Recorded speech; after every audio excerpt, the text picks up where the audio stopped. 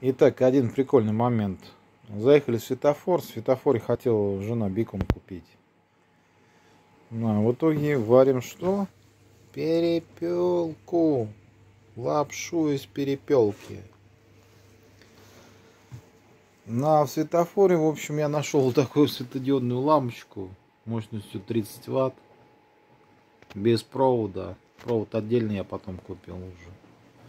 Светит хорошо, подсветил ей зону готовни, готовки, скажем так.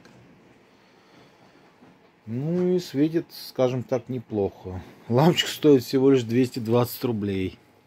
В магазинах такие лампы на 30 ватт светодиодные стоят порядка 900-800, ну и за 1000 там дальше.